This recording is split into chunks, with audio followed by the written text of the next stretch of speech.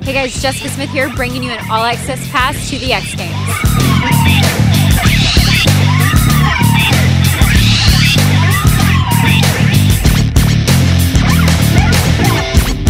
Hey guys, here with Ronnie Faisst, Moto legend, in my opinion, and in a lot of people's. so tell me a little bit about X Games and what you love to do. Um, well, this is speed and style event, and I really like this event because um, I grew up racing, so I have a racing background. Did like I raced for like 13 years, and then I moved out to California and started freestyle. And I did freestyle for 15 years, and now kind of at the end of my career, probably gonna ride for like another five more years. So this event's cool for me because it has both racing and freestyle.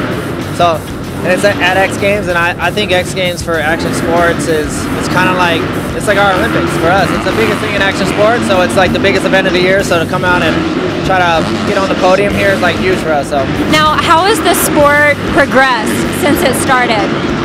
freestyle's come a long way. I've been in it since the beginning, and it started out with like just basic little easy tricks. And like I don't know if you were here last night and seen some of the stuff some of the guys are trying and best tricking the day before in freestyle. It's crazy. It's just it's on a whole nother level. Like people do stuff that's like video game tricks. It's crazy. So, what do you do to prepare for X Games? Um, for this event, I spent a lot of time. I actually built a track at my house, and uh, I just spent a lot of time riding at my house. And it, so a lot of time on the bike, and then off the bike, I change up. Like I go to the gym normally, but I usually just lift a lot of weights. I changed to like more strength training, more cardio training. I started doing like hill sprints, like because it's our our race is only four laps, so it's real fast. So I started doing like hill sprints to get my heart rate up. So mix it up a little bit. So I like to train though. I I don't like to sit at home. I'm always like on the move. So riding and training is kind of fun to me. Some guys don't like to train, but I like it. Now, what's the one event that you actually like to watch as an X Gamer?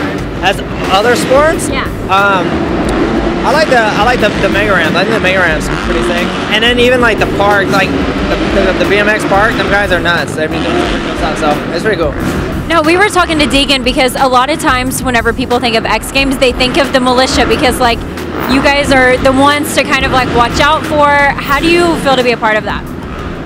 That's cool, man. I've been a part of the Metal Mulisha since it's been around, and um, you know, just started as a group again, group of friends that just love to ride and hang out, and uh, it, it blew up, and it's it's now it's like one of the biggest teams in freestyle, and um, some of our guys already picked up some medals here last night. Uh, Jack Strong got a gold medal, and uh, yeah, we got a strong team.